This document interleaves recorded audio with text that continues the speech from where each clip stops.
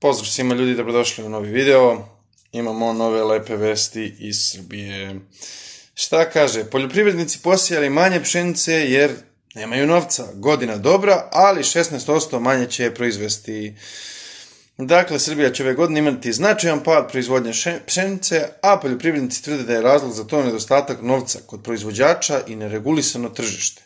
Međutim, stručnjaci smatraju da to nije razlog za brigu. Pa za njih nije razlog, za poljoprivrednike svakako da jeste razlog. Ziđinu još 3,3 miliona kvadrata bez naknade. Kakve efekte po Srbiju ima besplatna konverzija zemljišta? Kaže, u budući će imati kompanija Ziđin Copper pravo svojine na još 3,3 miliona kvadratnih metara. Pazite, 3,3 miliona kvadratnih metara zemljišta u Majdanpeku, sudeći prema informaciji iz lista nepokretnosti parcele koju kineska kompanija želi da konvertuje u vlasništvo. To znači da će vlasništvo nad više od 330 hektara šume biti prebačeno sa Republike Srbije na firmu u vlasništvu stranog investitora. Praksa da se državno zemljište bez naknade daje privatnicima krenula je po usvajanju izmene zakona o planiranju i izgradnji i stupanju na snagu odredbe koja se odnosi na besplatnu konverziju zemljišta besplatno iz prava korišćenja pravo svojine. Srbi ne znaju ni šta je svojina, ni šta je pravo svojine, ali ne se. Ova promjena izazvala brojne pritužbe od strane stručne javnosti koja tvrdi da su privatni interesi uticali na kreiranje zakona.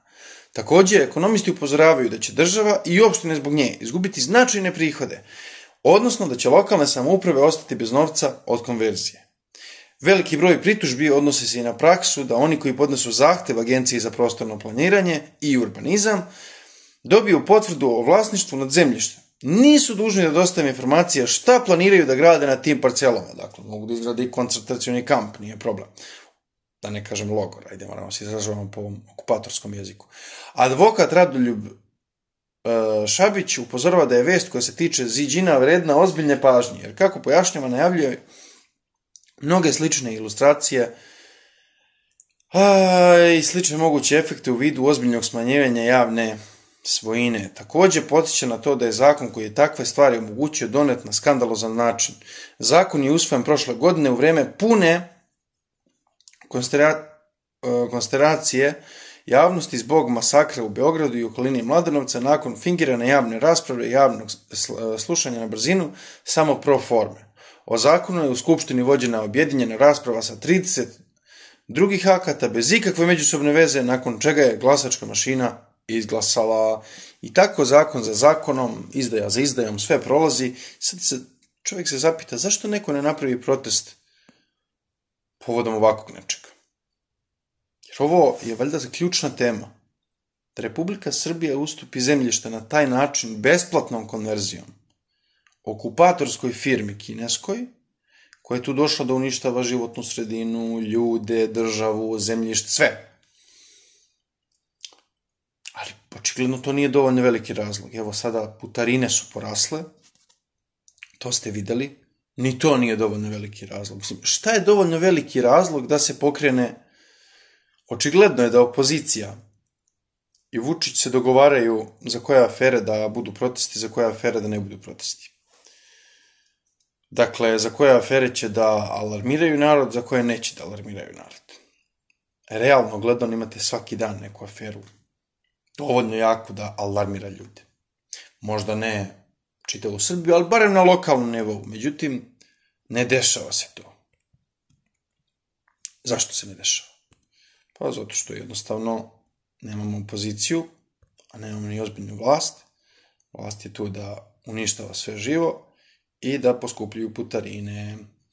I evo, od 10. jula, kao što vidite, počelo je poskupljanje putari, poskupljenje putarina, vlada Srbije dala je zeleno svetlo na novi cenovnik javnog preduzeća Putevi Srbije. Nove cene primenjuju se od 10. jula, stoji u novoj odluci o visini posebne naknade za upotrebu javnog puta, njegovog dela i putnog obite koji je usvojio, usvojilo javno preduzeće Putevi Srbije. Ovo su nove cene pojedinih deonica na autoputevima Srbije. Beograd Šid, nova cena je 500 dinara, dok je bila 450 Obrenovac, Preljina, nova cena 560, dok je bila 510. Beograd Subotica, nova cena 800, dok je bila 730. Beograd Vrbas, nova cena 470 umesto 420. Beograd Niš, 1130 umesto 1020.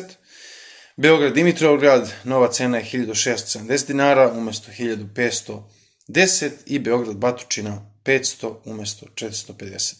Jedino što mogu da kažem je Aco, Srbine, ljubimo te svi.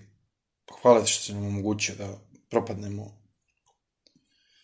Strašno. Država uzima kredit, pozovem ću ti ovo, otkad ovu vest nisam čuo, ima možda čak i 24 sata. Država uzima kredit od 358 miliona evra od poštanske štedionice za, šta mislite, za decu, da li je za pomoć Srbima na Kosovu, da se jednostavno povrati taj demografski pad, da se zaustavi, da se povrati stanovništvo, da li je možda za neku ključnu granu privrede koja će kasnije da multiplikuje, da napravi još profita, da... Ne. Ne, za nacionalni stadion. Pošaljite rulju u rimski cirkus. Bravo. Republika Srbija, sudeći prema predlogu zakona koji se nalazi u skupštinskoj proceduri, uzet će kredit od 42 milijarde dinara. Ne vi sad primite platu od 42 milijarde dinara. E, toliko novca se daje kod banke poštanske štedionice za izgradnju nacionalnog futbolskog stadiona sa pristupnim saobraćajnicama. Izvođač radova, šta mislite koja stoji? Da li je neka zapadna firma, da li je neka... Ne, Izvođač radova na izgradnji stadiona u Surčinu je kineska kompanija Power China. Čelični prijatelji, sad mi je već lakše. Država je već potpisala ugovor o dugoročnom investicijnom kreditu 25. juna s poštanskom štedionicom. Da li je nekog pitala? Nije pitala nikoga. U pitanju je dinarski kredit, a Srbija će se zadužiti po kamati u visini tromesečnog velibora plus fiksna marža od 2,9% godišnje, a rok vraćanja kredita je 11 godina uz grace period od 3 godine. Tako da, Načekat ćemo se. Vlada Srbije je zaključkom od 11. maja projekat izgradnje urbane infrastrukture i nacionalnog stadiona sa pristupnim saobraćajnicama proglasila projektom od posebnog značaja za Srbiju. Uzimajući u obzir uspešnu dosadašnju saradnju sa kompanijom Power Construction Corporation of China Ltd, odnosno Limited, vlada je preko Ministarstva financija 27. aprila 2023. godine potpisala sporazum o saradnji u vezi sa realizacijom i finansiranjem pripremnih projektantskih radova za projekat izgradnje urbane infrastrukture i nacionalnog stadiona sa pristupnim saobraćajnicama, piše u predlogu zakona.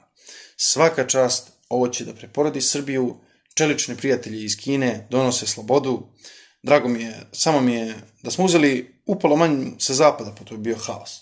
Ali srećom smo uzeli iz Kine i sad mi je mnogo lakno. Znam da je ovo dobar, dobar pravac koji Srbija preduzima. Eto. Toliko od mene, hvala vam svima na pažnji i mi se vidimo u nekom od narednih videa.